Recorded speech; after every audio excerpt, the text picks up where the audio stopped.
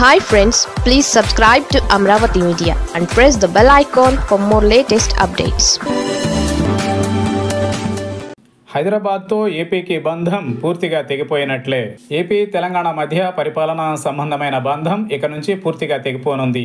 పదేళ్ళ పాటు ఏపీ తెలంగాణలకు ఉమ్మడి రాజధానిగా ఉన్న హైదరాబాద్ ఇక నుంచి పూర్తి స్థాయి తెలంగాణ క్యాపిటల్గా కొనసాగనుంది. ఏపీ రీఆర్గనైజేషన్ యాక్ట్ ప్రకారం దశాబ్దం పాటు భాగ్యనగరంపై ఏపీకి హక్కు ఉండింది. అందులో భాగంగానే పరిపాలనా సౌలభ్యం కోసం హైదరాబాద్లో ఆంధ్రప్రదేశ్కు పలు కీలక భవనాలను అప్పట్లో కేంద్ర ప్రభుత్వం అప్పగించింది.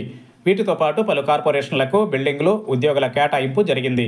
అయితే ఏపీ రీఆర్గనైజేషన్ యాక్ట్ ప్రకారం ఆంధ్రప్రదేశ్ ప్రభుత్వం వీటన్నింటినీ ప్రస్తుతం ఖాళీ చేయాల్సిన పరిస్థితి ఏర్పడింది. ఆ భవంతులను తెలంగాణ సర్కార్కు అప్పగించాల్సి ఉంటుంది. జూన్ రెండవ తేదీ నాటికి ఈ ప్రక్రియ మొత్తాన్ని పూర్తి చేయాల్సి ఉంటుంది. ఈ నేపథ్యంలోనే ముఖ్యమంత్రి రేవంత్ రెడ్డి మంత్రులు ఉత్తమ్ కుమార్ రెడ్డి పొంగులేటి శ్రీనివాసరెడ్డి ఉన్నతాధికారులతో భేటీ అయ్యారు. ఈ నెల పద్దెనిమిదిన రాష్ట్ర కేబినెట్ సమావేశం కానుంది.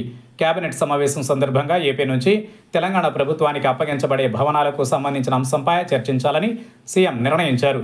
కేబినెట్ సమావేశంలోగా పదేళ్ళ క్రితం ఆంధ్రప్రదేశ్కు కేటాయించిన భవనాల పూర్తి వివరాలు రెండు రాష్ట్రాల మధ్యన కామన్గా కేటాయించబడిన ఎంప్లాయీస్ డీటెయిల్స్ను మంత్రివర్గం ముందు ఉంచాలని ఆయన అధికారులకు ఆదేశించారు.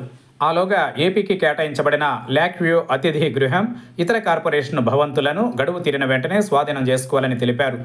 అనంతరం ఆంధ్రప్రదేశ్ నుంచి స్వాధీనం చేసుకున్న భవంతులు స్థలాలను తెలంగాణ ప్రభుత్వానికి అనుకూలంగా కేటాయించుకునేందుకు అవసరమైన మార్గదర్శకాలను సిద్ధం చేయాలని సూచించారు.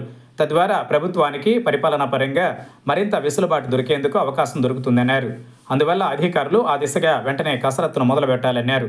దాదాపు దశాబ్ద కాలం పాటు ఏపీ రీఆర్గనైజేషన్ యాక్ట్ ప్రకారం ఆంధ్రప్రదేశ్కు హైదరాబాద్పై హక్కు ఉన్నప్పటికీ ముందుగానే ఏపీ తన కార్యకలాపాలను తాడేపల్లిగూడెం వేదికగా కొనసాగిస్తూ వస్తోంది. అయితే తాజాగా హైదరాబాద్పై దానికి గల హక్కుకు సంబంధించిన గడువు కూడా పూర్తి కావడంతో ఏపీకి సంబంధించిన ఆనవాళ్ళు పూర్తిగా రాజధానిలో కనుమరుగు కానున్నాయి.